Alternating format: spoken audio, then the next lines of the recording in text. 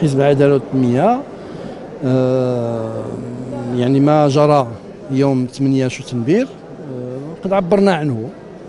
قد عبرت عنه القيادة ديال حزب العداله والتنميه مباشرة في النهار ديال تلقي النتائج في غد له. وعبر عليها المجلس الوطني اللي التئم في نهاية الأسبوع المنفرط وللأسف كنسجل بكل أسف بأنه عملية انتخابية شابتها عديد من الاختلالات.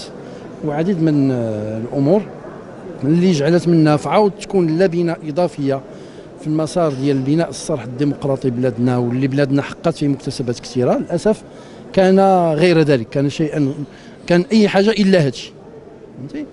ولذلك إحنا اليوم على مستوى مدينة الدار البيضاء جامعة الدار البيضاء من بعد واحد الحصيلة مشرفة آه، بالمناسبه ماشي هذا الشيء اللي كنقولوا ماشي أنا اللي كنقول هذا الشيء هذا الشيء كيقولوا جميع مكونات المجلس اللي كانوا كلهم في اخر دوره الا كتذكروا لما تم التقديم ديال العرض حول حصيله تدبير جماعة الدار البيضاء الجميع اثنى على انها تجربه مشرفه وتبنى جزءا منها فهمتي لذلك حنا ما كندوش من من الفراغ المنطق كان يقتضي باش ان هذه التجربه تستمر باش تستمر للاسف وقع ما وقع هذا علاش اليوم حزب العداله والتنميه بكل مسؤولية خدينا المسؤوليه خدينا موقف مسؤول الناحيه السياسيه هو أنه قدمنا ترشيح ديالنا لكي نعبر على أنه من جهة لو كانت الأمور طبيعية ومنطقية الأحق بمواصلة هذه الإصلاحات هو حزب والتنميه لو كان تحترم المنطق.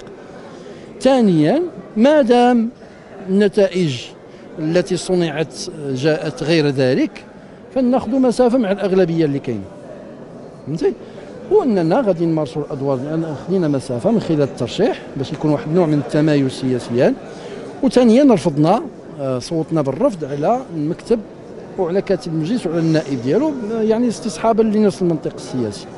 ولذلك من موقعنا هذا كما يعني اعلنا عن ذلك غادي نمارسوا الدور ديالنا الطبيعي على مستوى المساءلة والانتقاد والاقتراح املا باش أنه الوتيرة باش تمشات مدينة الدار البيضاء خلال ست سنوات على الأقل ما ترجعش إلى اللور.